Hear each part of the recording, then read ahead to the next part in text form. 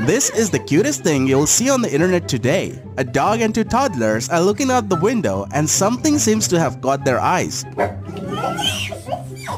The brother is returning home from school and they're overjoyed upon seeing him. The dog's swishing tail is hitting both their baby bottoms as he starts jumping excitedly when he walks up to the window.